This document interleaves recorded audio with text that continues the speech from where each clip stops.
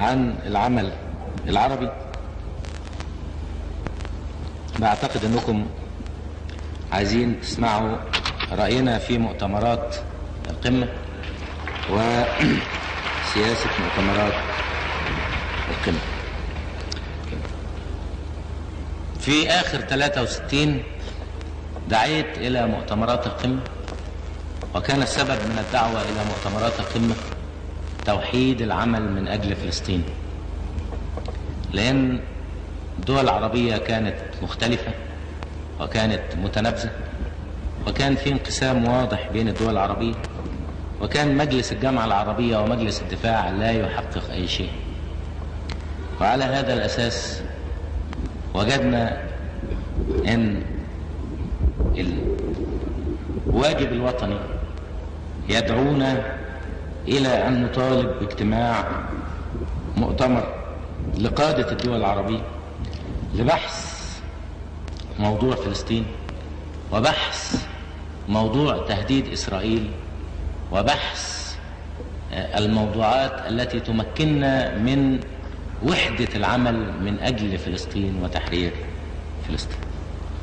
واجتمع المؤتمر الأول في سنة 63 طبعا كلنا نعرف إن في تباين في الدول العربية في دول رجعية وفي دول متحررة وفي دول لها مصالح مرتبطة مع المصالح الاستعمارية وفي دول على الحياد بين هذا وبين ذاك. إذا في تناقضات موجودة في الدول العربية. كنا نتساءل هل هذه التناقضات الموجودة بين الدول العربية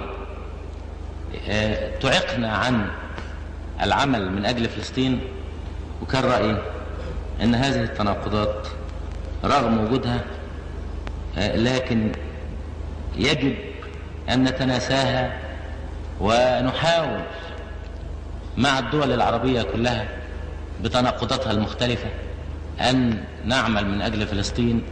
وقد يشعر كل واحد أن قضية فلسطين هي القضية الأولى.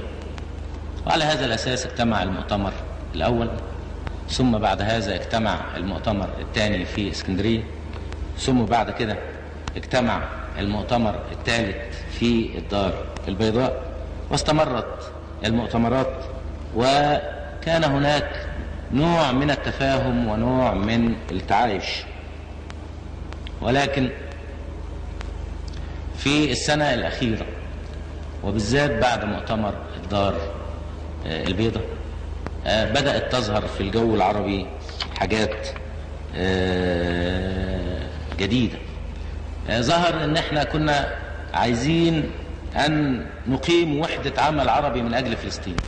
وعلى هذا هدمنا الرجعية العربية. على أساس إن الرجعية العربية ستشترك في هذه الوحدة. قلنا إن كل واحد مسؤول عن بلده وأن يكون هناك تعايش بين الأنظمة العربية المختلفة. هل نفذت الرجعية العربية هذا الكلام أو لم تنفذه؟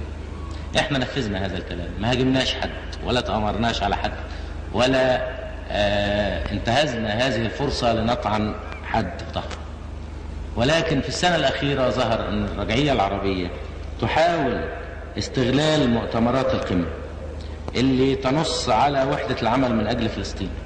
لتقيم وحدة من القوى الرجعية ضد القوى التحررية والقوى الثورية وضد الجمهورية العربية المتحدة. طبعا ظاهر إن الحرية السياسية لازم بتتبعها حرية اجتماعية. بدأت حملات علينا. اتصرفت أموال. يصرف على يصرف في أمريكا خمسة مليون جنيه لمؤسسة أمريكية.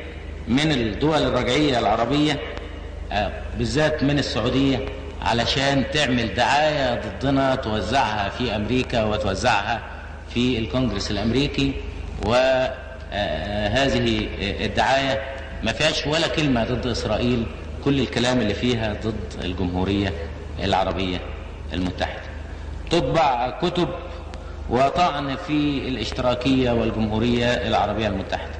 أما راح الحجاج في السعودية السنة دي وموجود منهم طبعا ناس بينكم هنا عملت ضدنا حملة دعاية وتوزعت منشورات وكتب كلها كذب وكلها افتراءات وكل ده آه، صارت فيها الرجعية العربية اللي إحنا هادناها ولكنها ترى الخطر في المبادئ والكلام اللي إحنا بنتكلمه وترى أن العدالة الاجتماعية ستقضي على الاستغلال اللي بتقوم به طبعا بعد كده آه، بدأت عملية المؤتمر الإسلامي أو الحلف آه، الإسلامي. وموضوع الحلف الإسلامي ده موضوع مش جديد لأن موضوع الحلف الإسلامي ده في سنة 57 أما سعود رجع من أمريكا قالوا له الأمريكان اعمل حلف إسلامي علشان تجمد التطور اللي موجود في العالم العربي. وجاء سعود اتكلم معانا وأيزنهاور كتب هذا الكلام في آه، مذكراته إذا الحلف الإسلامي موجه ضدنا موجه ضد قوى التحرر وقوى الثورة في العالم آه، العربي.